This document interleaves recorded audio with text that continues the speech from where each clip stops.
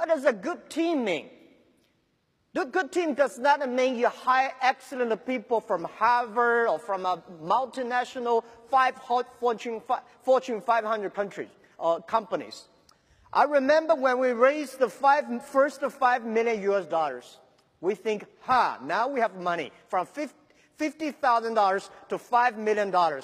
So we should hire great people. We hired close to 10 excellent vice presidents for many multinational companies. One of the guys who are the marketing expert vice president of a big company.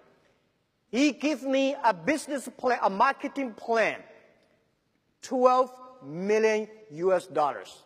And I say, hey, I, we only have $5 million. How could you give me a business plan for, you know, for, uh, for next year's budget to marketing 12 million? He said, Jack, I never make any plan below $20 million.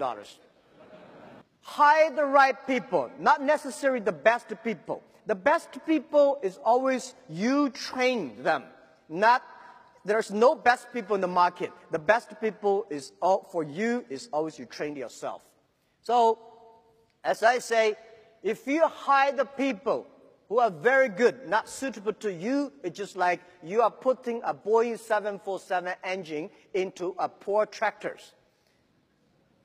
Neither of them are happy. The Boeing, the engine is not happy, the poor tractor is not happy. So find the right people.